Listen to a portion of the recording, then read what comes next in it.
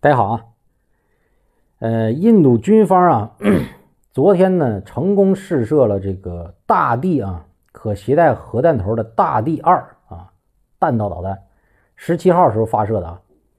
那这个战术导弹啊，战术弹道导弹，印度媒体啊相关报道啊，我会把这个视频放下方啊，自己有兴趣可以看看。那印度这种试射战术核武器呢？这个印度媒体报道是专门针对中国啊。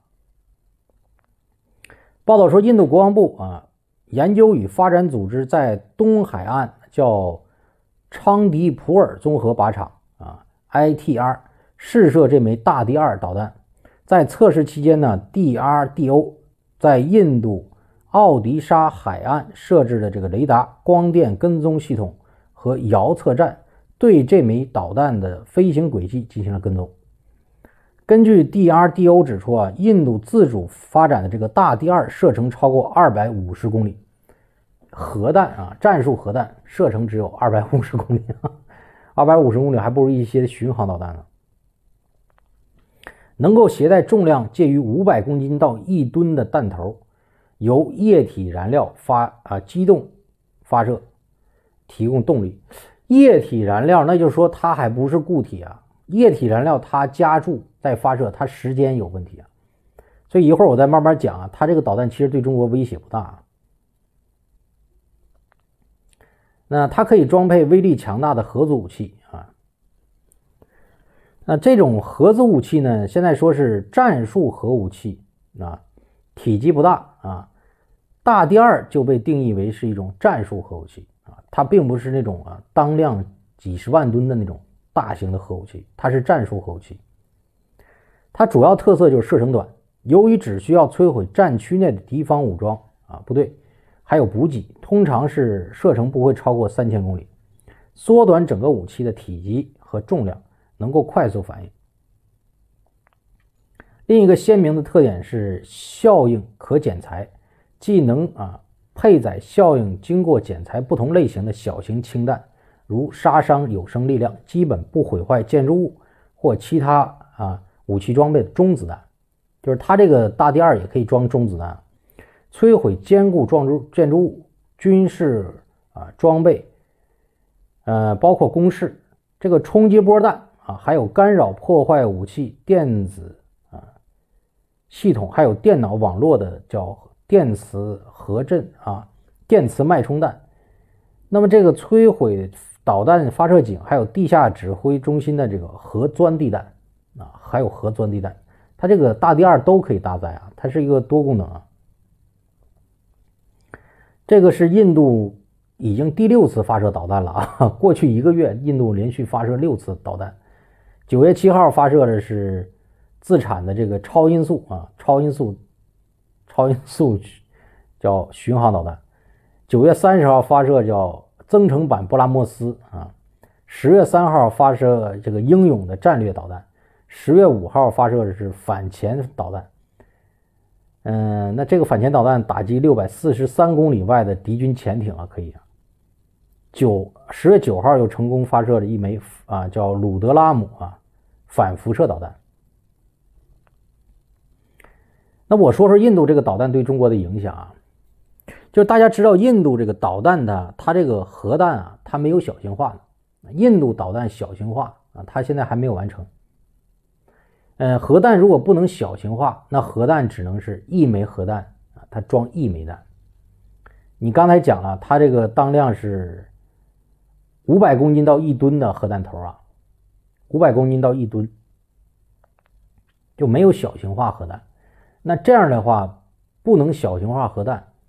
它就没有多导多弹头，多弹头没有的话，它被拦截的效率啊就非常大，成功概率非常大，所以它这个威胁性不大啊。另外，它的距离只有二百五十公里，它是战区性的，嗯，对中国的这个纵深没有打击，没有打击效果。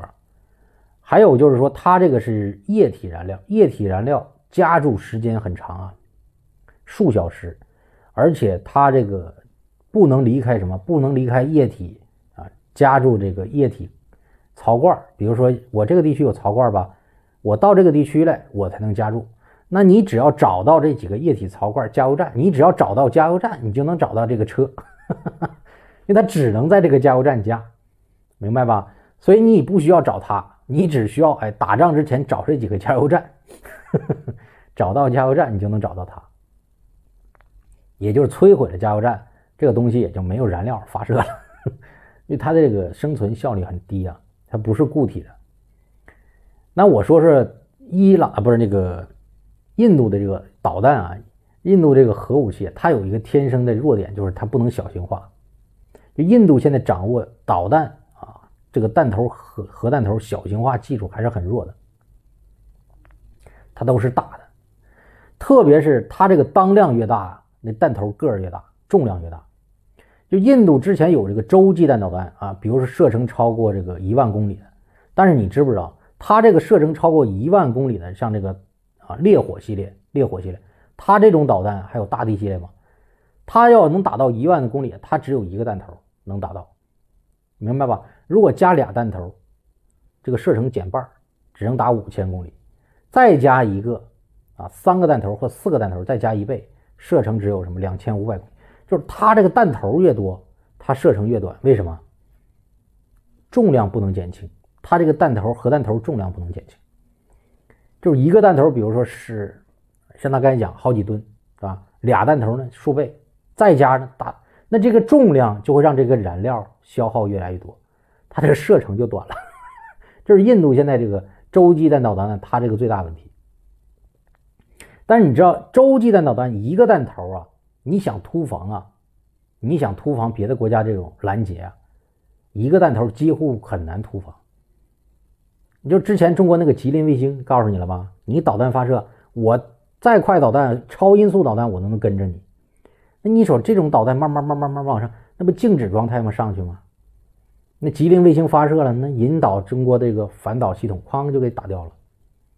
说印度在这个对付中国这个弹道导弹方面啊，它最大的问题就是导弹它这个弹头不能小型化。弹头越多，生存能力越强，但是距离越短。你说你只能打五千公里，或者只能打两千五百公里，四四个弹头打两千五百，有什么效果吗？四两千五百公里，那还不如用飞机打呢。两千五百，轰炸机都比这个是吧炸得远。所以印度表面上可以有啊，打到一万公里，打到八千公里，打到五千公里，但是它这个弹头啊数量有限，就是它对中国的威胁不大。所以中国不把印度当成这个像那种是吧，像俄罗斯啊、美国那种真正有核威慑的，能把这核弹头小型化的这种国家很少的。就印度也好，巴基斯坦有核武器，但是这种是最原始的一代核武器、二代核武器，而中国和美国、俄罗斯已经发展到第六代核武器了，第六代核武器了，一个手提箱就可以核爆了，你明白了吗？就这种，它是一个怎么说？它不是一个时代的啊，所以咱中国不要把印度这个核武器想的好像对中国威胁太大，没有什么太大威胁。它那个核潜艇那个导弹啊，可能有点威胁，对吧？那两千五百公里，我到你沿海啊发射也能达到你这腹地啊，这是有时威胁。但是你就能发一个弹头啊，是吧？一个弹头，所以这是威胁。但是你那潜艇一共就 能发十几枚，最多了。印度也没有战略导弹核潜艇，它最多发个一枚两枚核弹啊，导弹就完事儿了。被拦截效率也，那海上拦截它，潜艇拦截它也有也有办法。所以印度现在还不是核大国啊，不不是核强国，也不是核大国，它只是拥有了核弹，而且在一啊第一代核弹、第二代氢弹，在这个基础，它没有小型化。你要记住啊，印度这个弹道导弹，就刚才我讲的。打的越远的只有一个弹头，弹头越多打的越近，就这个尴尬。而且是什么？而且不能使用固体燃料。有固体燃料有有，但是少数弹。这就是印度现在 整个核实力的尴尬性啊。我觉得这次呢，就是宣传宣传手段啊，两百五十公里，它能威胁到哪儿啊？